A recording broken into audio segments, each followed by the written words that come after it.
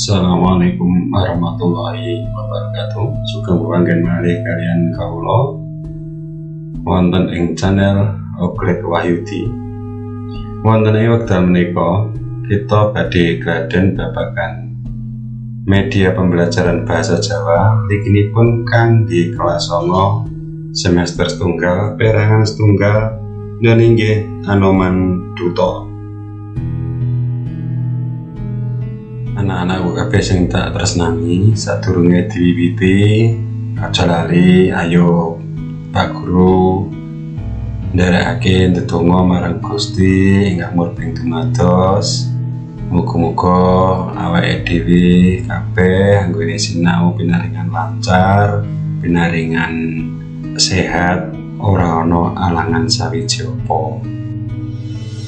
Dene kompetensi dasar yang bakal kita gayo ing dengan dino iki yaiku 3.1 memahami cerita Ramayana lakon Anoman Duto 4.1 menanggapi isi teks cerita Ramayana Anoman Duto dengan ragam kromo indikator menjelaskan isi cerita Ramayana Anoman Duto menanggapi peristiwa yang terjadi dalam cerita Ramayana Anoman Duto memberikan penilaian atas peristiwa yang terjadi dalam cerita Ramayana Anoman Duto.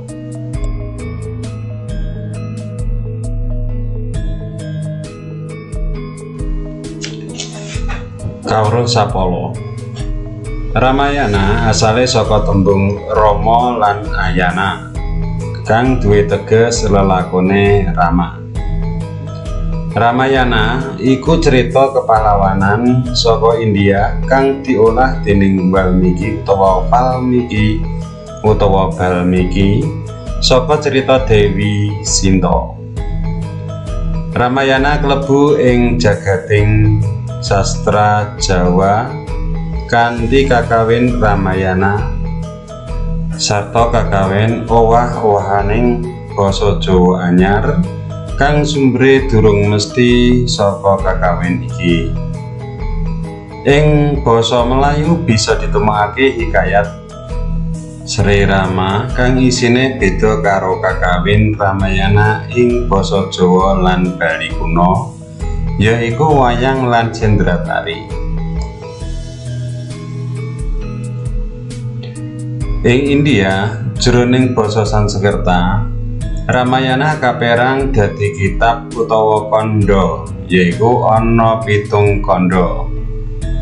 Ing antarane yaiku siji Balakanda, loro Ayodhya Kanda, telu Aranya Kanda, papat Kiskendha Kanda, lima Sundara Kanda, enam Yudha Kanda, pitu utara kondo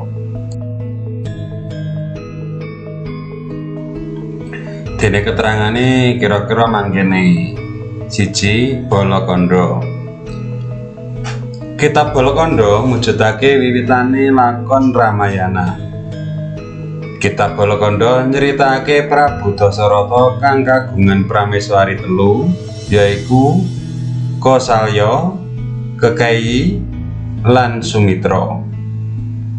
Prabu Dasarata kagungan putra papat yaiku Rama, Barata, Laksmana lan Catrugna.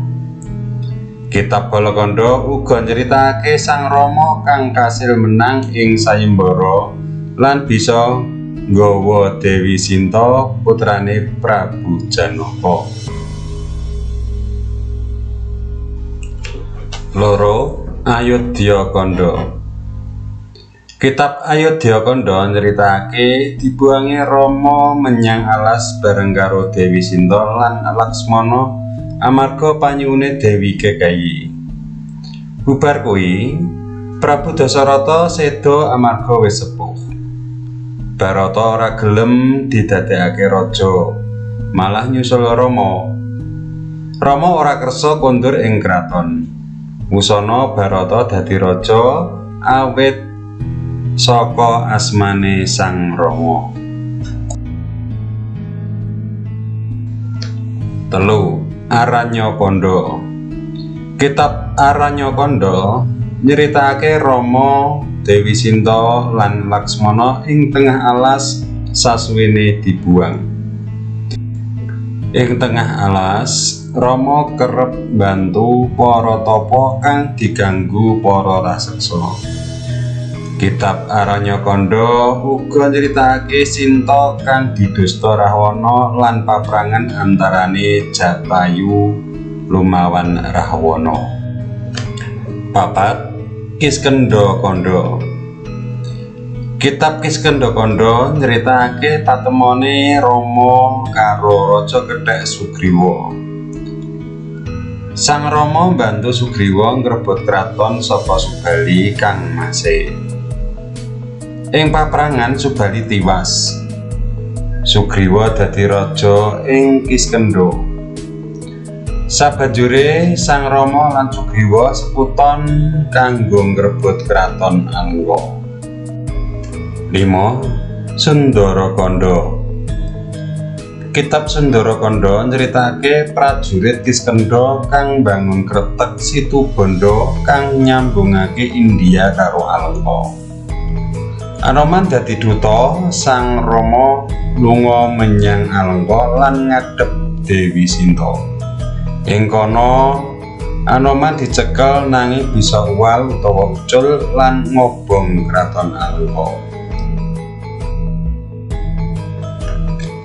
6 Yuda Kanda Kitab Yuda Kanda nyeritakake paperangane antarane prajurit kethek Sang Rama karo prajurit raseksane Sang Rawana.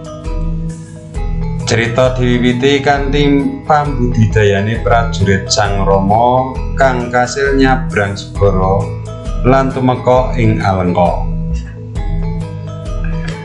Waktu semono Wibisana ditundung dening Rahwana amarga kakehan mituturi.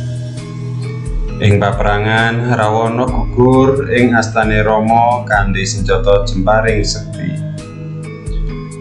Sang Rama kondur kanthi slamet menyang Ayodhya bebarengan Dewi Sinta. Pitu Utara Kanda Kitab Utara Kanda nyeritakake pambuangi Dewi Sinta amarga Sang Rama midhanget kabar saka kawula kang ora percaya karo kasucene Dewi Sinta. Sabanjure Dewi Sinta ing pertapan Resi Walmiki lan babar putra Kusa lan Lawa. Kusa lan Lawa sowan marang Sang Rama nalika ana upacara Aswamedha.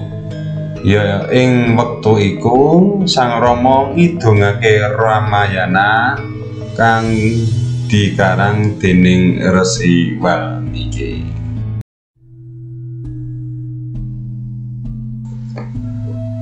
Anoman Duto Prabu Rama dawuh marang Anoman tumuju marang Alengka. Bab iki dadi pilihane Prabu Rama sesambungan karo anane pawarta kang ora pati cetha bab Dewi Sinta. Duto kang dipilih iki Anoman. Amarga Anoman duweni kasekten kang dhuwur. Dadi yen ngadepi musuh kang ditemoni ing tengah dalan bakal bisa ngrambungi apa meneh Anoman kuwi bisa mabur?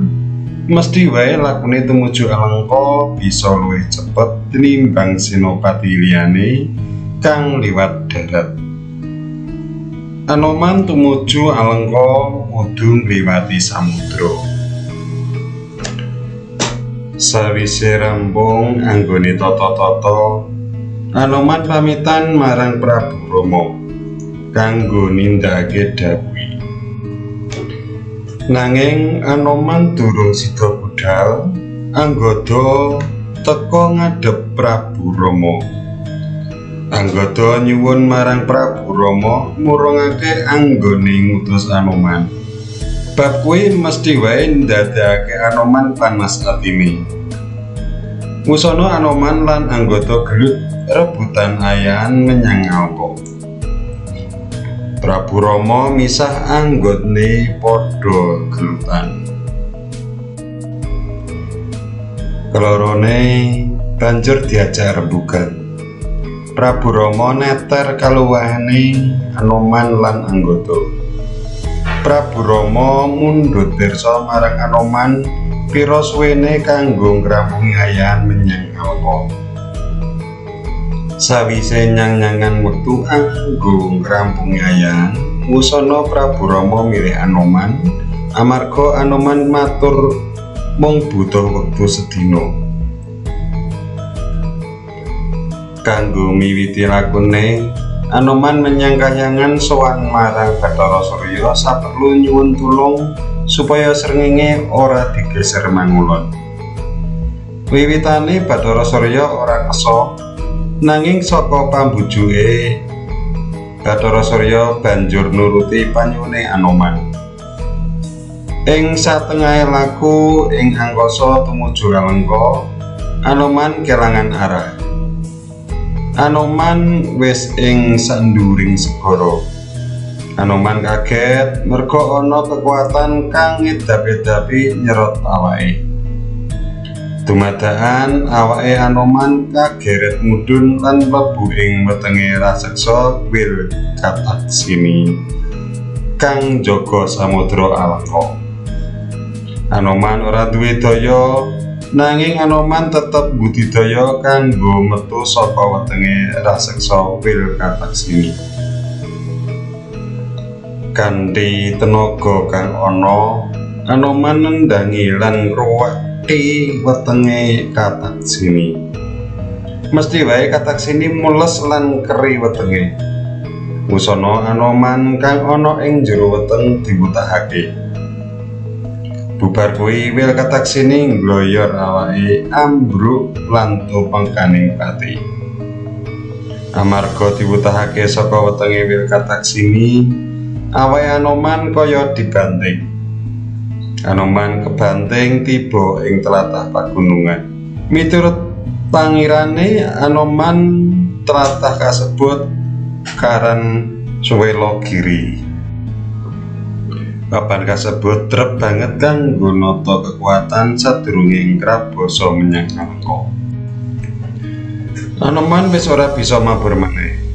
Dheweke banjur nerusake laku liwat darat kanthi semboyongan. Sawise cukup suwe lakune, Anoman wis ora kuat meneh. Anoman semaput. Ora ada saka papan kono ana guwa yaiku guwa windu.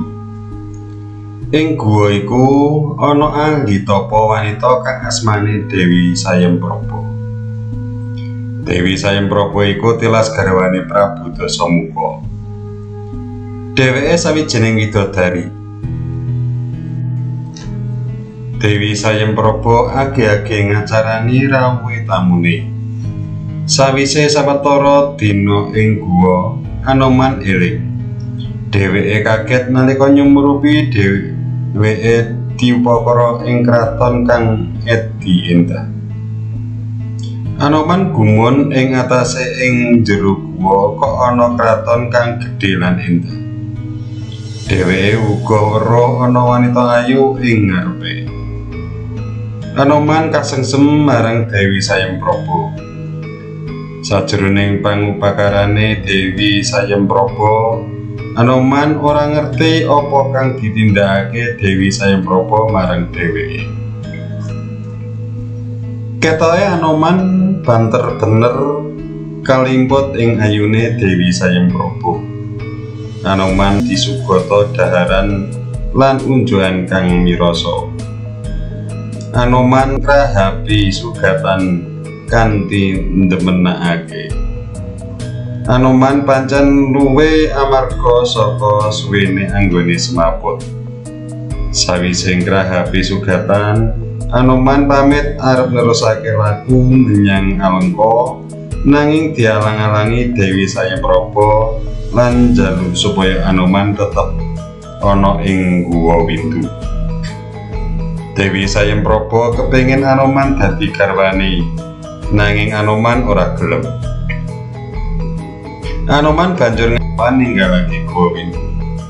Sawise ditinggal Anoman, Dewi Sayempraba goreh atine. Dheweke kelo amarga Anoman ora nanggapi tresnani. Kamangka Dewi Sayempraba tresna banget marang Anoman. Dewi Sayempraba percaya menawa Anoman bakal bali menyang Guwa Windu ing wektu liya. Sawise sawetara suwe lakune ninggalake guwa, dumadakan mripate Anoman kaya-kaya weruh cahya sumorot. Panyawangi dadi peteng. Anoman dadi wuta. Anoman susah amarga rumangsa gagal nindakake tugas. Untung tangise Anoman keprungu dening manuk Garuda kang aran Sempati. Sempati nyoba nambani Anoman.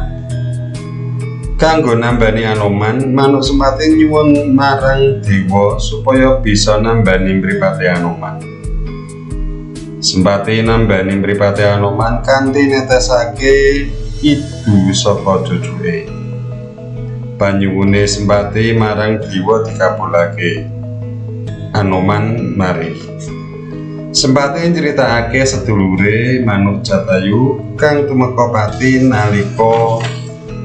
lumawan Prabu Dasamuka Manuk Jatayu satemene arep nyelametake Dewi Sinta kang dicolong Prabu Dasamuka Nanging Jatayu gagal nggawa Dewi Sinta menyang Ayodhya. Amarga Prabu Dasamuka nyabet swiwi lan gurune saka mburi nganti Jatayu tiba ing bumi lan mati. Anoman krungu crita saka Sempati dadi sangsaya percaya menawa Dewi Sinta dicolong Prabu Dasamuka. Anoman pamit marang Sempati kanggo nerusake laku menyang Alengka. Indrajit, putrane Prabu Dasamuka lagi njaga sanjabane kraton. Weruh ana kang kumlebat ing angkasa banjur digoleki.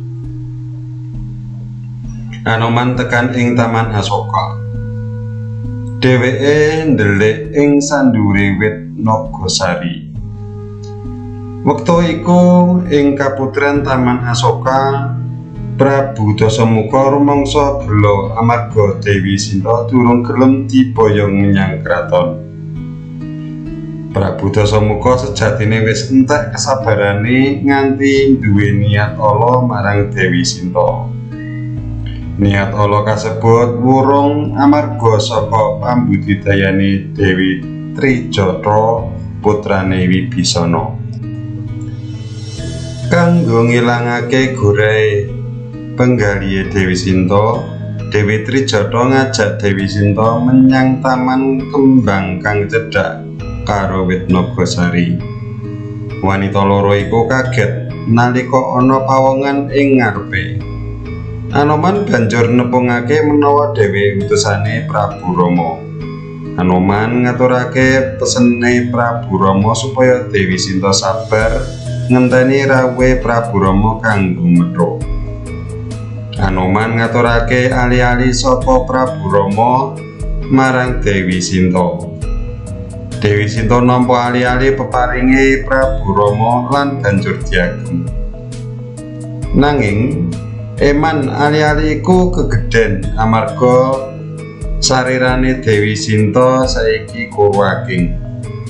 Dewi Sinta nitipake jungkat kang wis suwe ora diagem amarga sasuwene ing Alengka Dewi Sinta ora kersa jungkatan rekmo lan ngrumat sarirane. Sarirane Dewi Sinta dadi rusak. Dewi Sinta rumangsa kasiksa adoh saka Prabu Rama. Dewi Sinta ora kersa digawa bali Anoman ketemu Prabu Rama. Dewi Sinta pengin Prabu Rama dhewe kang mapak. Durung rampung anggone padha rembugan, Indrajit lan prajurite wis ngepung Taman Asoka. Anoman sengaja ora ngladeni mungsuh, dheweke pasrah nalika dicekel. Anoman kepengin ngukur kekuatane Alengka. Indrajit agi-agi nyuwanake Anoman menyang Prabu Dasamuka kang lagi nganakake pasamuan agung kang dirawi Patih Prahasta. Kadang muda Prabu Dasamuka kayata Kumbakarna, Sarpakenaka lan Wibisana sarta para putra Prabu Dasamuka raja-raja telukan kraton Alengka.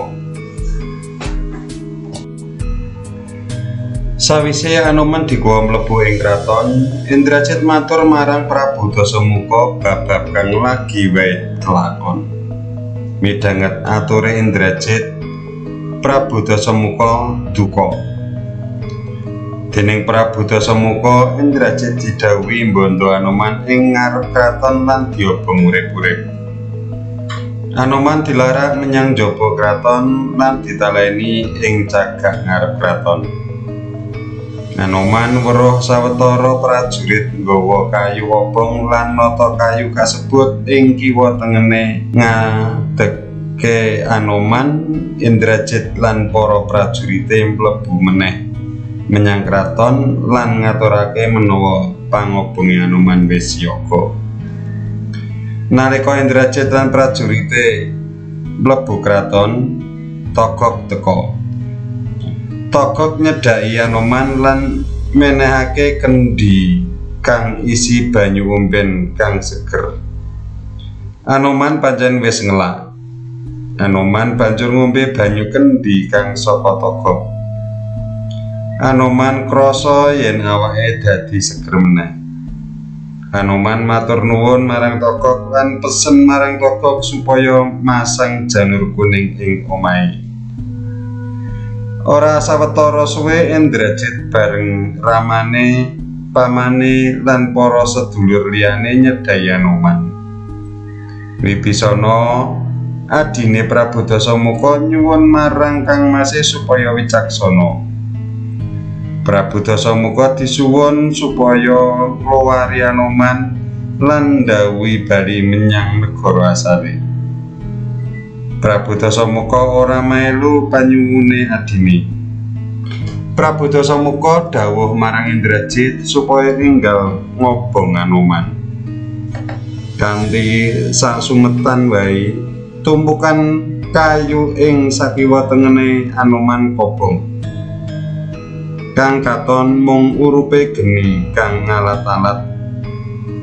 Geni sang saya gedhe sawise bandane anoman ucul anoman mabur karo nggawa geni kang isih murup ing awake. Geni ora ngobong anoman anoman nguncalake geni geni iku marang wewangunan kraton. Alengka kobong Wong-wong saisine kraton kontrang-kantring mrana mrene golek selamat. Wewangunan kraton kobong. Untung isih ana papan kang kalih saka geni yaiku omah cilik ome Tejo Mantri Toko Dasamuka lan para keluarga ngungsi menyang omahe Toko Sawise ngobong kraton Alengka, Anoman ninggalake Ngalengka lan bali menyang Ayodhya. Anoman wis tekan negara Pancawati. Srengenge wis lingsir mangulon. Ketoke Bathara Surya wis pirsa yen Anoman wis bali Pancawati. Mula tali panyancangi srengenge diwujuli. Anoman banjur matur marang Prabu Rama apa wae kang wis ditindakake lan ngaturake kabeh pesen sarta titipane Dewi Sinta kagem Prabu Rama. Nanggapi ature Anoman, Prabu Rama banjur nggelar perang lumawan Prabu Dasamuka. Ana rong pilihan kanggo Prabu Dasamuka. Milih akur kanthi mbalekake Dewi Sinta marang Prabu Rama apa milih perang? kanggo ngerekake prajurit menyang Alengka Prabu Rama ngrancang gawe tambak segara sehingga ing segara ana dalan kang bisa diliwati prajurite Prabu Rama wiwit saka pesisir Pancawati tekan daratan Alengka